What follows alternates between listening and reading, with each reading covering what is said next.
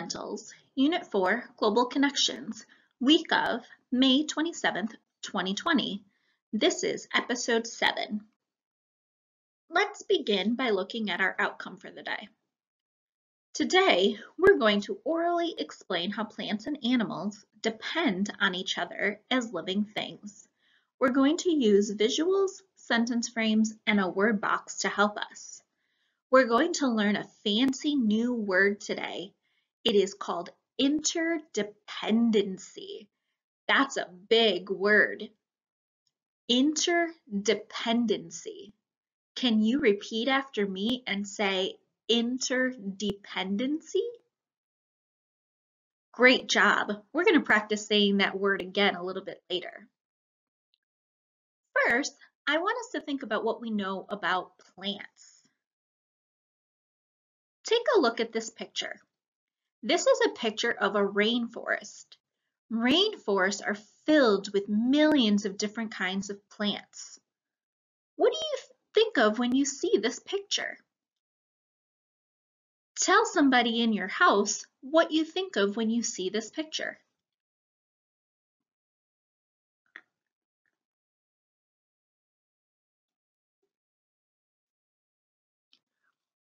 Did you say things like the plants are leafy or they are very green? That is what I thought of when I saw this picture.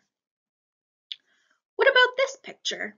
What do you think of when you see this picture? Tell somebody in your house.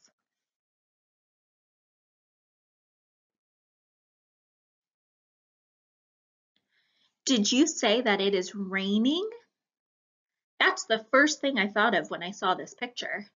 I know that plants need water in order to survive. What about this picture? Tell somebody in your house what you think of when you see this picture.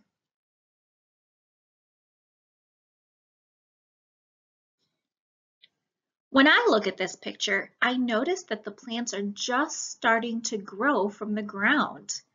I also notice that the, it is very sunny in this picture. I wonder why. Here's another picture where the sun is shining very bright. Did you know that plants also need sun in order to survive? What about this picture? This picture is interesting because I see two bees on a flower. Do you know that bees are very special animals? Talk to your family about it.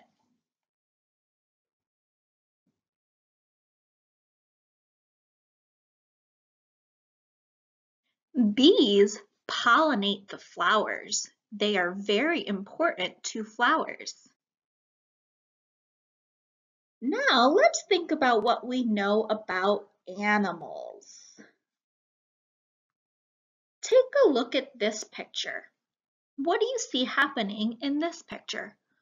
Tell somebody in your family about this picture.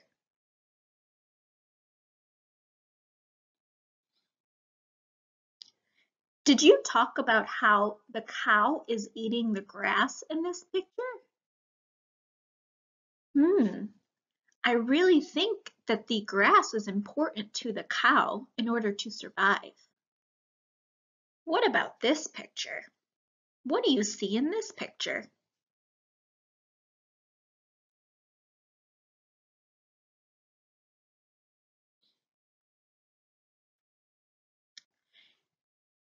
Do you notice that there is a nest in a tree and there are two eggs in the nest?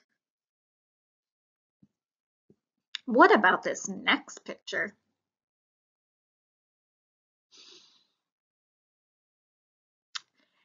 In this picture, you see a house cat.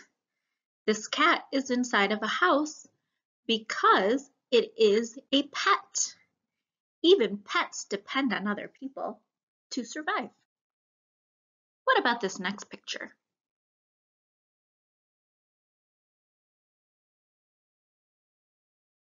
In this picture, there are many different sea creatures and plants. They all live underneath the water and depend on one another to survive. So now let's think more about that. Do plants and animals need each other?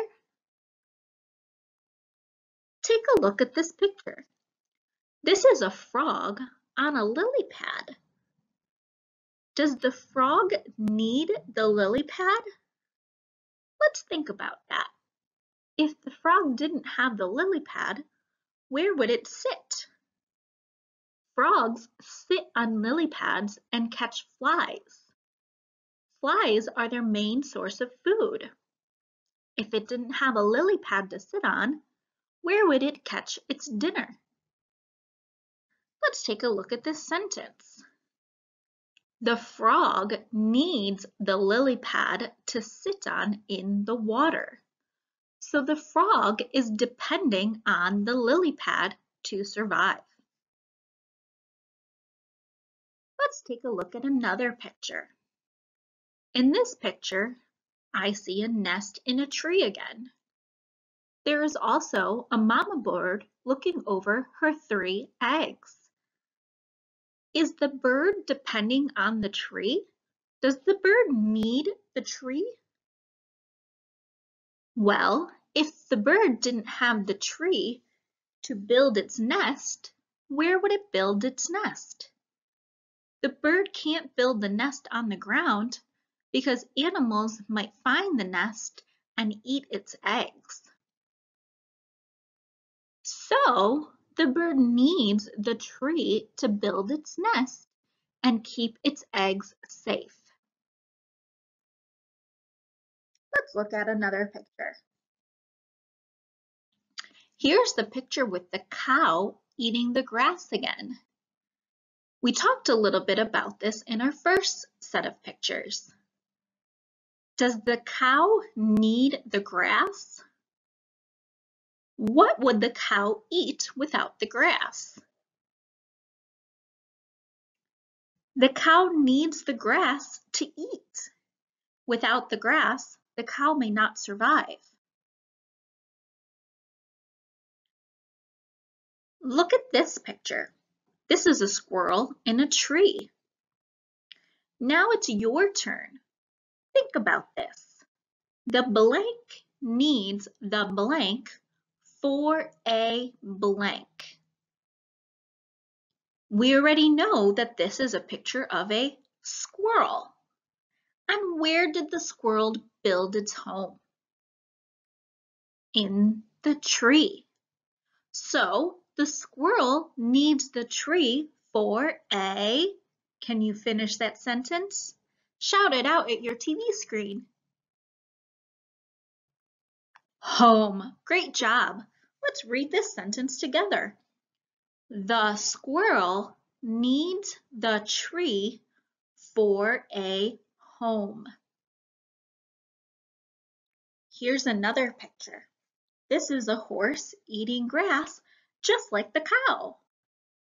Can you finish this sentence? The blank needs the blank to blank. Let's see if you can finish this sentence on your own.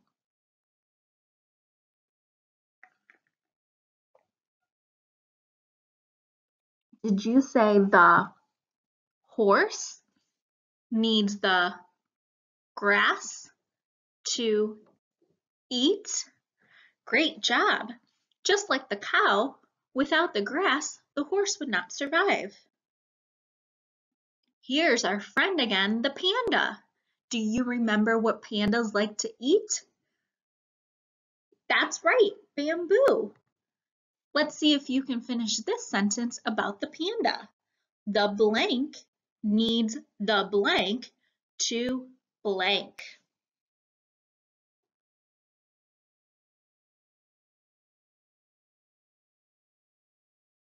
Did you say the panda needs the bamboo to eat?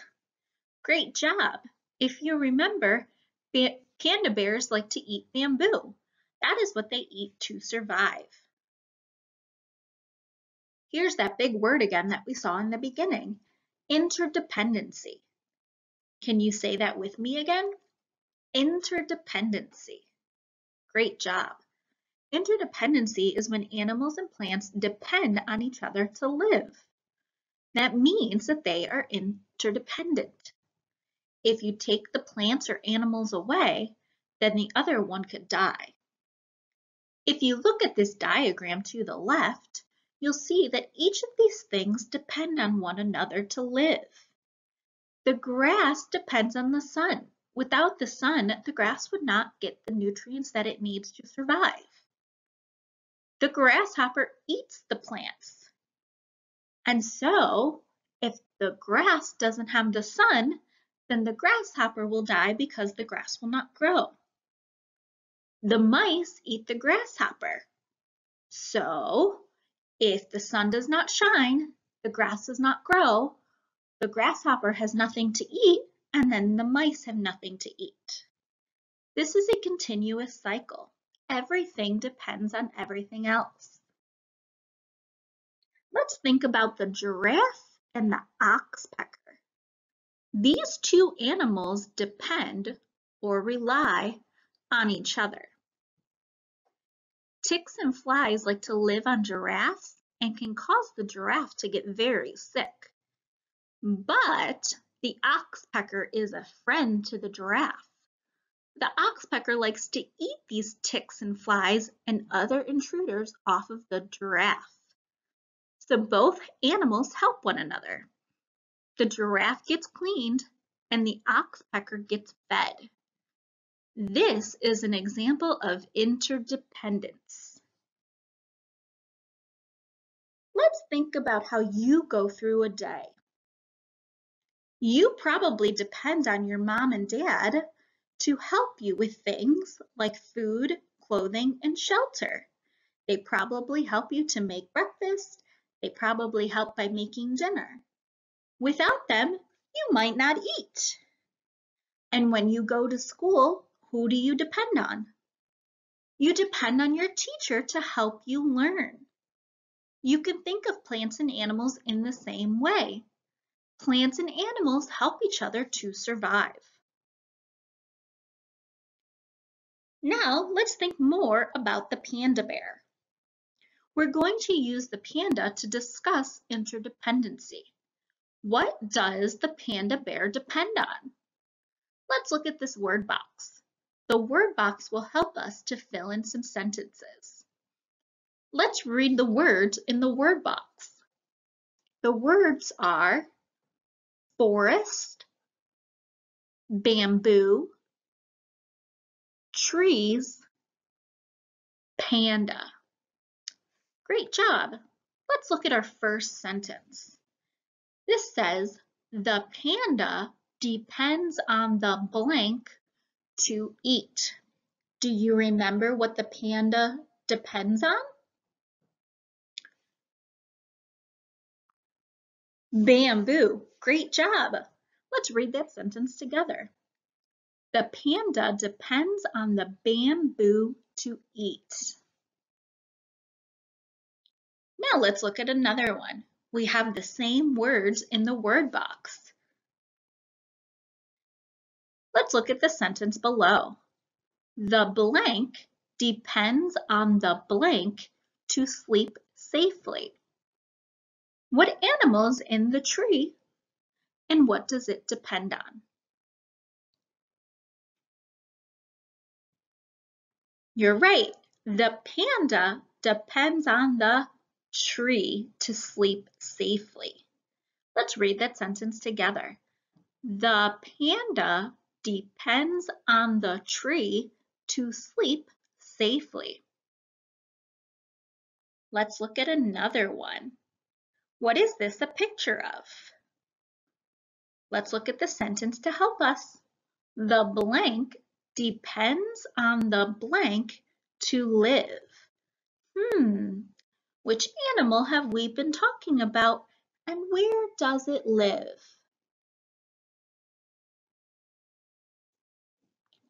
Great job.